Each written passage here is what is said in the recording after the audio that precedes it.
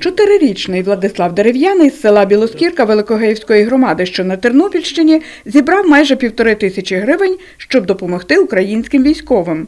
Мама Владислава розповідає, не раз з сім'єю долучалися до благодійних акцій для допомоги ЗСУ. Ведене є свято, ведене є в храм Пресвятої Богородиці. У нас є такий в селі звичай, може, певно, на кожному селі є.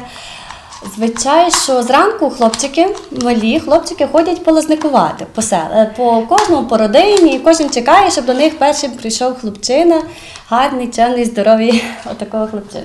От, відповідно, і каже Владислав, каже, а ти підеш завтра полазникувати? Він каже, піду. Вірш для сина, з яким він мав полазникувати, придумували разом, розповідає Тетяна. Каже, два якісь слова придумаємо так само на ЗСУ, щоб було щось е, пов'язано, щось побажати відповідно до теми.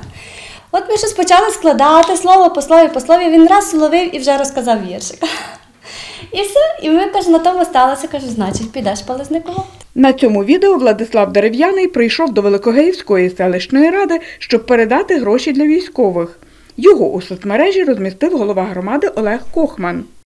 Фалешник, і і стежок. Що давайте вже йду, що ви там на живу. Молодець, молодець.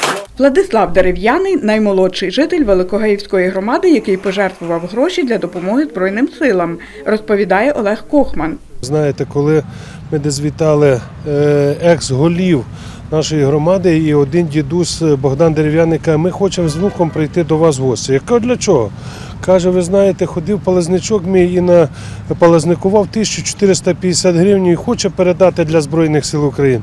Ви просто не уявляєте, як е, просто на душі в кожному, коли ми побачили того маленького хлопчика, який завітав в сільську раду і передавав ті кошти. Він нам також заплазникував і це на Збройні Сили України. За гроші, які приніс Владислав, закупили зимове спорядження для односельця, який служить у Збройних силах України, каже Олег Кохман.